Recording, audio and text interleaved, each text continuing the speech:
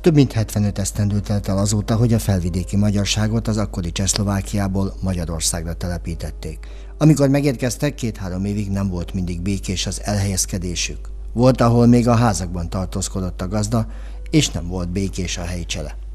Felvidéki népcsoport nagyon hogy is mondjam, hányatott helyzetben volt, mert hogy a háború után, lezárása után Szlovákiában jogfosztottságot szenvedtek el,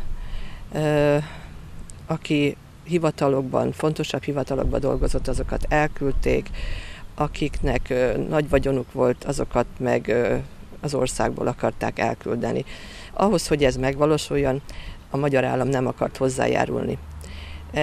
Többek között próbálták ezt kikényszeríteni a szlovákok, csehszlovákok, mert akkor még Csehszlovákia volt, azzal próbálták kikényszeríteni például, hogy egy csomó magyar faluból összeszedtek embereket, és szekéren például Komáromig, Érsekújvárig vitték, hogy ezek magyariz a Dunai, hogy menjenek a Dunán túlra, de a magyar állam nem akarta őket fogadni. Egy részük ettől függetlenül átjött, de, de sokan ott maradtak, és akkor a másik ilyen kikényszerítő körülmény az volt, hogy deportáltak nagyon sok embert az akkori Szudéta vidékre, ahonnan is a németeket teljes mértékben kitelepítették, és nem volt munkaerő. Bányák voltak, üzemek voltak, ahol munkaerő kellett, és hát bizony a tél folyamán magyarok százait, ezreit ö, marhavagonokba kevés kis ö, motyóval áttették oda a Szudéta vidékre, és emiatt aztán aláírták a lakosságcsere egyezményt a magyar és a szlovák állam. Tulajdonképpen ez a rövid történet. Bár iskolázottan vagyonosan érkeztek, de az akkori politikai helyzet hamar elszegényítette az érkezőket. Nem érezték sajátuknak sohasem a kapott házat, éppen ezért a legtöbben megváltak tőle, és a városokban telepettek le, építkeztek, munkahelyet kerestek maguknak. Sokan nem is tudták egymásról, hogy azonosak a gyökereik, mert nem beszéltek róla. Az asszimiláció az évek alatt folyamatos volt, és a rendszerváltást követően már alakultak klubok, egyesületek. A felvidékiek azóta tartanak több helyen megemlékezéseket is.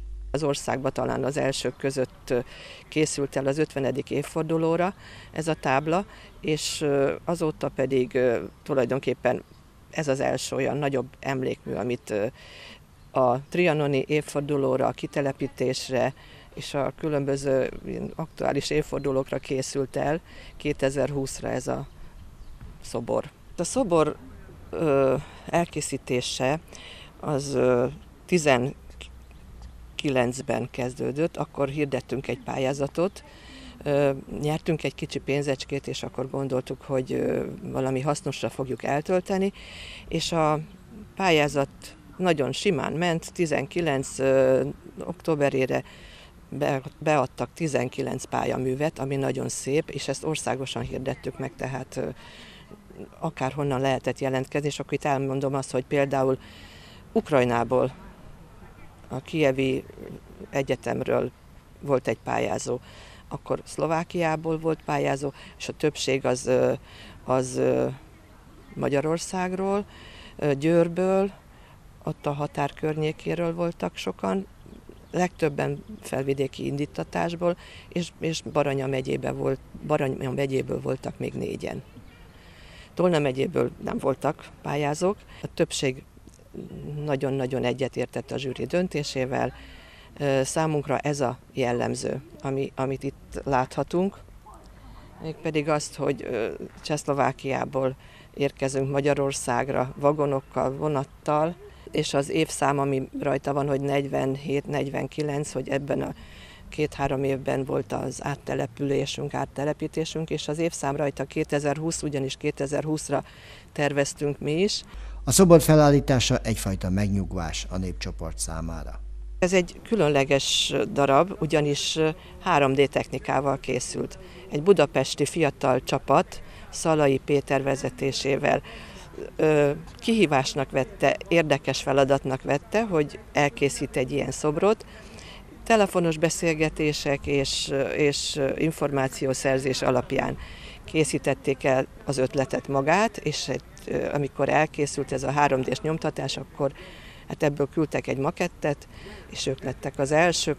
Jól esik az, hogy, hogy valahogyan megörökítjük azt, hogy ez az út elég hosszú volt, elég rég volt, de már, hogy is mondjam, kicsit homályba vész az egész. Nagyon kevesen vannak azok, akik még élnek, nagyon kevesen vannak azok, akik emlékezni tudnak, illetve egyre kevesebben vannak. Mi a Egyesület már több mint 20-25 éve működünk, és ezért van egy énekkarunk, ami tulajdonképpen az Egyesület magja, és a kinti települések, akik, ahonnan származnak a szüleink, őseink, azokkal tartjuk a kapcsolatot. Nagyon gyakran járunk hozzájuk ilyen kulturális rendezvényekre, és ez azért is jó, mert hogy, hogy érzik azt a kintiek, hogy, hogy magyarok, és hogy mi nekünk is fontosak, tehát hogy a, a magyar gyökereink nekünk is fontosak, és ők is olyankor egy kicsit bátrabban ö, megmutatják a magyarságukat, a hovatartozásukat.